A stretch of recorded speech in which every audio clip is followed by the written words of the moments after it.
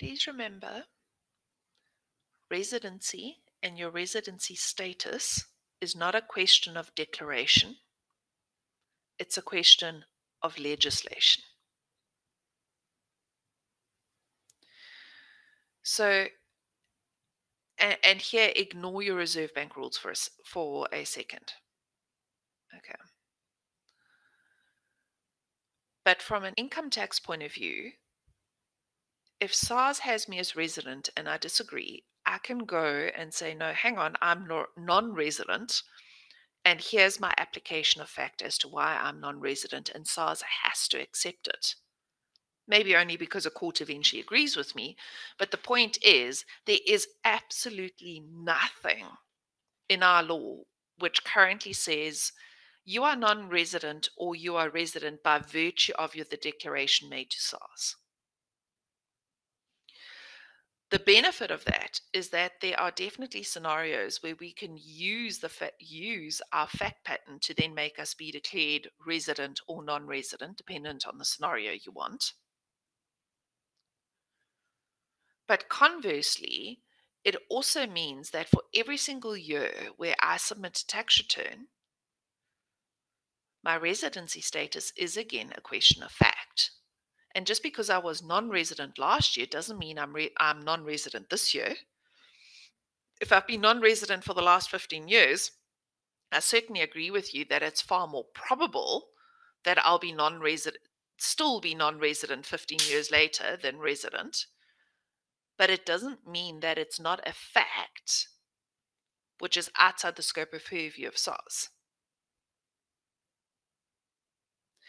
In particular, and I've had this in a conversation with a couple of SARS, SARS officials, is to be brutally honest, historically, SARS didn't really scrutinize your residency status as carefully as they may have should have.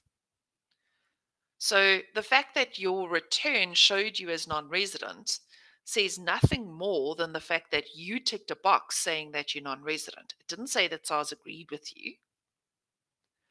You don't have a letter from SARS saying we agree with the fact that you're non resident. All you have is that you made a declaration.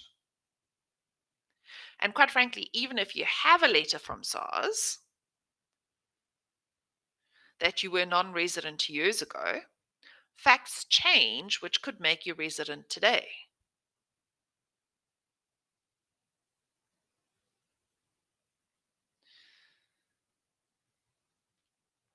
Please just be sure that for someone who has left 15 years ago, I generally would recommend that for the years in which you take, change tax residency, keep that return and keep the fact pattern because it's worth it if there is ever a query raised. It is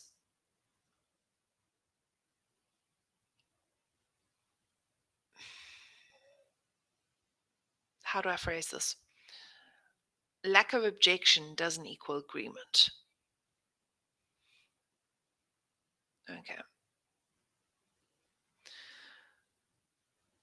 Follow up question Is a change to RAVA 1 only required for an individual taxpayer who has moved and living overseas for two years as an employee in the UK? Right if you um your the question as to whether you should be declaring yourself as resident or non-resident on the RAVO one is always going to come back to the question of whether you meet the definition of resident for income tax purposes. And our definition of resident for income tax purposes is you are ordinarily resident as defined under the Act, or go read Interpretation Note 3 in case you want more detail and failing which I check physical presence. Okay. If I am non resident or resident through both of those, there is a third criteria to our residency test, which says that if you are resident in another country through application of a double taxation agreement, then you resi- then you become non-resident for tax purposes only. So, to go back to my UK example of where we have an individual who goes and works for two years in the UK, I could be resident in South Africa because my intent is to always come back. So, I'm still ordinary resident. But I could also be resident in the UK because under UK law, you become tax resident after 183 days. The DTA then, for example, might make me resident in the UK only under the tiebreaker rules in Article 3. In that case, per the definition in the Income Tax Act, I'm no longer resident in South Africa and I'm resident in the UK only. So, yes, it may be that even if you're only planning on leaving for two years, that you could become non tax resident in South Africa. Okay.